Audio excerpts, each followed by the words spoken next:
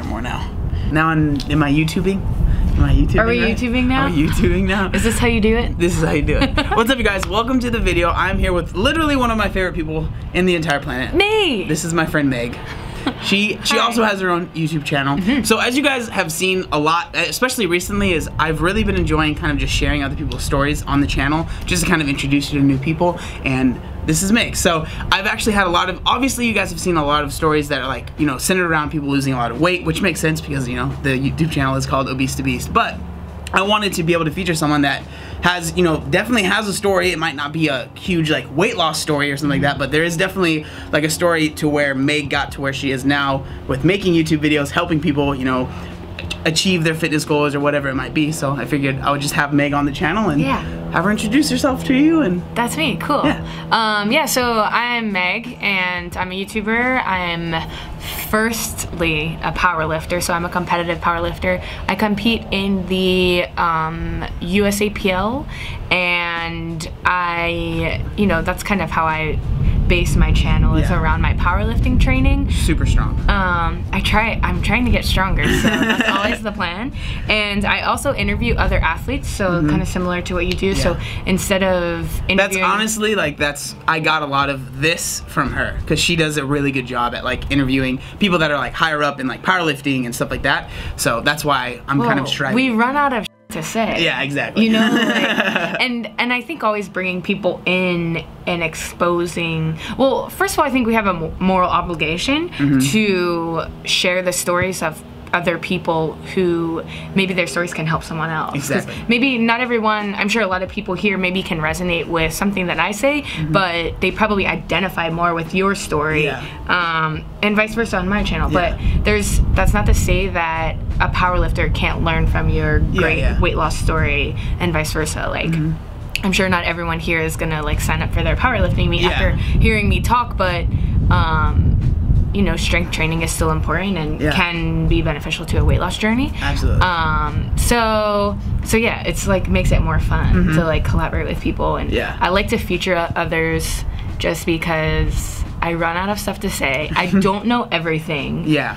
and I'm sneaky because Mm-hmm. as I'm learning, so I have like the strongest people in the world are on my channel. Mm-hmm. Um, so as I'm like making a video featuring them, I'm just hearing what they're Yep. Mm-hmm. saying, and I'm like, ooh, I get all these goodies. So it's like really, as a coach, that's my obligation too, Yeah. is to like learn from the people who know better than me. So, so yeah, I think Yeah. we should all do that. All YouTube channels should feature other people. I Yeah, think absolutely. because like individuals are boring. Mm-hmm. You, know, like, you know, you can only be so entertained by one person. Yeah. Um, but yeah, so my story is well, I was actually an athlete my whole life. Mm-hmm. So I went on to play basketball and I ran cross country.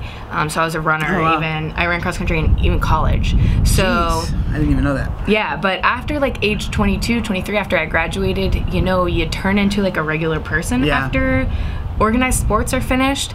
And I had a good few years where I was not really doing much. I was Mm-hmm. working, and that was important to me to like start my career. Um, and I don't regret that time, but in my free time, I was like drinking and. Yeah. you know, Were you like did you like notice or like were you like kind of aware that like man I really want to work out more like I'm not working out as much like did Yeah. that kind of cross your mind at all? I think always. I was definitely, um, and I think until I f- actually found strength and found like some sort of uh, progression that I could track, I was always like unsatisfied with.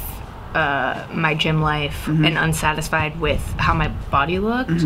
I think my first step was I signed up for um, a half marathon with my mom. So my mom and I trained for that, and that was kind of like a concrete goal. That I think that's what I was missing after organized sports. It's like you know you train for your season and Yeah.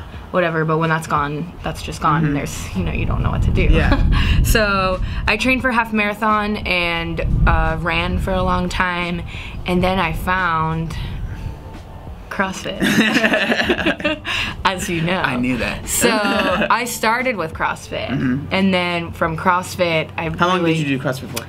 I probably did CrossFit for about an entire year, a full year, maybe plus. I, you know, heard about, I was following girls on Instagram and Mm-hmm. I was like, I could do a bikini show. Uh-huh. And when I was doing CrossFit, I was really lean. I told you, I just told you this, I was doing paleo. Mm-hmm. Yeah. Back when like paleo was like the that was the CrossFit go-to. Oh yeah.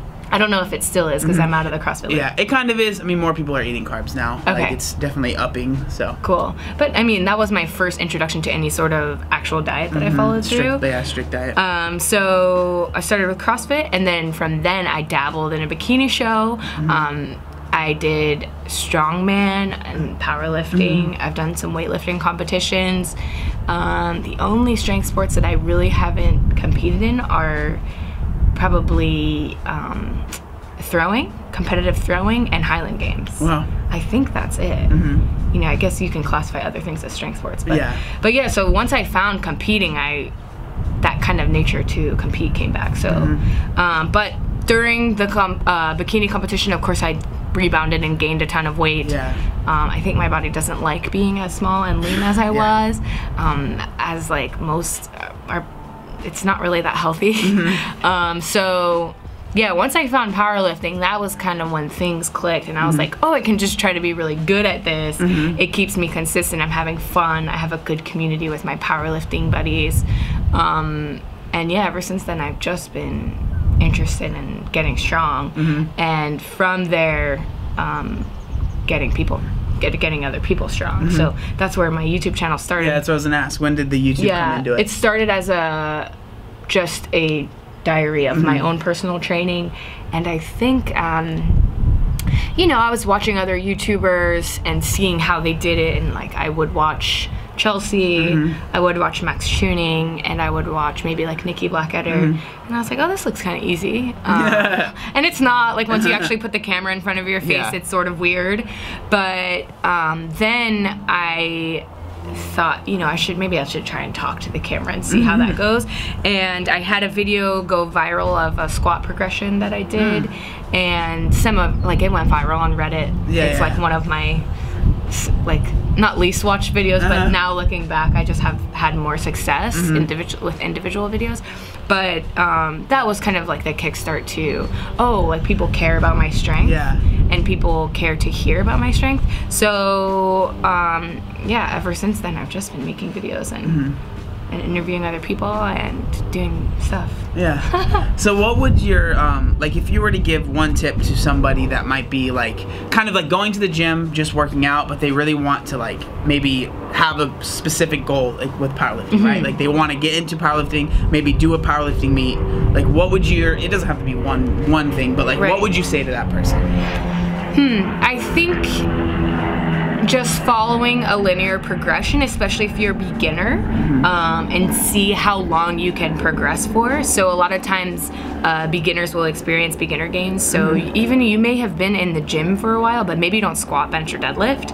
Um, you'd probably be surprised how long you can Absolutely. run. Even like if you look up StrongLifts, um, you can just run five by five for weeks, And- months, maybe even years. something that I've noticed, like when, when people say beginner gains, like what people mean by that is like when you first start working out, like you can make huge progress in a mhm. short amount of time, and then once you get into it and you're doing it for as long as like maybe Meg has been doing it, the the gains. When I say gains, like maybe like new PRs and stuff like that come few and far between because you're so much stronger, so you're only able to make so much progress in a year. Right. But like when people say beginner gains, like the one thing I've noticed too is that at the beginning you'll start to tweak your form and like once you actually get your form right like you will progress so much at, at first like Yeah. when you get like oh when i'm benching like i need to do this correctly and then Mm-hmm. oh wow i've just you know put 20 pounds more on my on my pr Yeah, and the important thing there is you may be experiencing techno- technical improvements Mm-hmm. that uh, help you realize your strength potential, but I would still just follow a Yeah, yeah. linear progression and keep um, keep your ego down here, Mm-hmm. you know, and just really ride that out for as long as you can. The longer you're progressing, the stronger you'll be. Mm-hmm. Um, whereas me right now, I will PR months, uh, like years. You know, Yeah. like I'm happy um, if I put on if I get a better total each meet. So. Um, With the squat, bench, and deadlift, you take the accumulative total of those three lifts of your best lifts. And if I put two and a half kilos on the entire total, so that could even mean lifting the same for most of my lifts, um, then I'm happy. You know, I walk away satisfied. Well, of course I'd want more. But, um, you know, that small progression is like as you become a more advanced lifter and a more proficient lifter, um, those will become smaller. That's why it's really fun and addicting in the Mm-hmm. beginning. And now at this point, like if I were to not progress, um, I would definitely lift differently, but Mm-hmm. Yeah. I would still lift because I enjoy doing it. Yeah. Um, so yeah it's just it's really cool having someone on the channel that is so passionate about you know what they do and what they love. Because like we were kind of talking about this on the on the drive here. I was uh you know telling her like a lot of people have been asking me what is it that's kind of different about me compared to people that might have like lost a lot of weight and then gained it back? And i think honestly like the biggest thing that's helped me maintain my weight loss is finding this love for fitness. And like the reason I don't say finding love for bodybuilding or finding love for CrossFit because it really is just finding love for fitness. And it can be anything. It could be powerlifting, it could be Olympic rowing, it could be whatever. It could be, you know, bicycling. It could be whatever it is that you find that you enjoy. Because if you find something that you enjoy and genuinely like doing, it, it will never be like, oh man, I have to get up and like run right now. It'll be like, oh, I get to get up and run. Yeah. Like, because that's the way I feel about going to the gym. Like, I get to, you know, go to the gym and work on my mobility and, like, you know, gain a little bit of strength, hopefully. And Mm-hmm. it's something that I genuinely enjoy. And it's not at all a chore. And I understand that that might be kind of hard for some people to kind of grasp. Like, oh, I don't, I don't think I'll ever like working out. But like, I challenge you, like, just try a bunch of different things. And like, I can almost guarantee there's something out there, fitness-wise, that you will be like, oh wow, like I really actually like doing this. Yeah. And like, for her, it's powerlifting. Yeah. and I think also the adjustment of goals, especially if you come into something with a weight loss goal. Yeah. Um, usually I ask, so I coach um, Yeah, do- athletes. yeah. And a lot of times they are a beginner or just getting into Mm-hmm. lifting. And we ask, like, do you have a weight loss goal or do you have a strength goal? Mm-hmm. Um, but the way we program is always to get you stronger. Mm-hmm. Um, and the way we track our workouts and the way we really measure progression is by strength. Mm-hmm. Um, because usually that um, kind of feeds the fire to Mm-hmm. keep the consistency there and also um, keep people coming back. So, you know, if you run a 12 week program, which is what we have everyone do, Mm-hmm. um, and then we usually, um, depending on the program, sometimes we'll test your one rep max Mm-hmm. or test like what your new RP8 is. Yeah.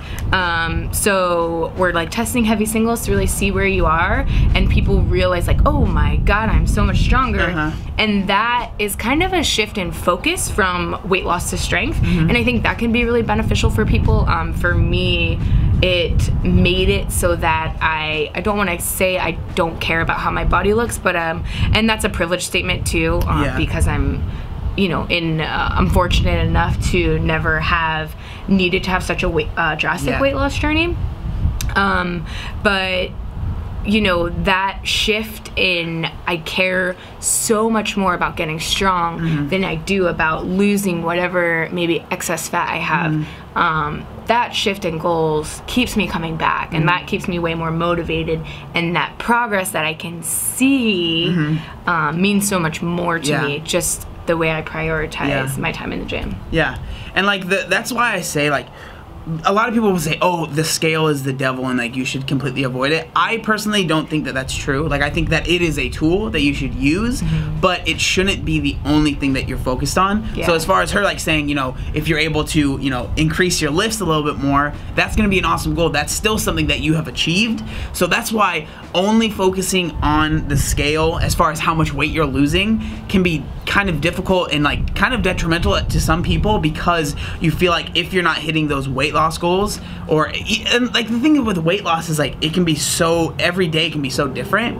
But like if you're not hitting those goals you feel like you're failing. But if you have other things that you're able to focus on whether it's hitting a PR or like you know going through a CrossFit workout and go, getting a better time or running a mile a little bit faster or whatever it is right? If you have other goals you're having other things that you're able to focus on that will give you that kind of keep that fire going Yeah. so you continue you know achieving those goals but then hopefully those weight loss goals will kind of just fall into place as well Right. so like that's something that's been huge for me is like i don't actively think i need to maintain this weight I just enjoy the life that I'm living and like I obviously I, I do my best. I work really hard in the gym and like I have a ton of goals in the gym and then the weight maintenance has just kind of happened to Right. along with that. And so it's not like something I'm thinking about all the time. And I understand that that is a, a point that I've got to after years and years. But like I genuinely believe with my whole heart that anybody can get to where I've got. There's nothing special about me mm-hmm. at all. And I always say that and you guys are always like, oh, you're, you're special. But like what I mean by that is like there's nothing that I've achieved that I don't think anybody else could with hard work. I guarantee I just that's what is I believe that 100%. So Yeah. Yeah. Cool. Awesome. Well, I'm gonna go. I just started rambling right there. No, I feel loved it. I I can love it. feel it. I'm inspired. But, but I just want to say thank you guys so much for watching the video. If you guys are interested in Meg's channel, obviously Come it will be linked in the description. She really is someone that I look up to a ton because she has a goal. She has what she like loves doing, and she goes for it. And she's just 100% herself, and she does not care. and to me, that's really really cool. But again, thank you guys so much for watching. Make sure you like, comment, and subscribe. There was one other thing I wanted to say. What was it? Oh yeah, look how buff I am. Obey the warning signs, and when there are flashing lights or wigwags, don't attempt to cross until they come to a complete stop.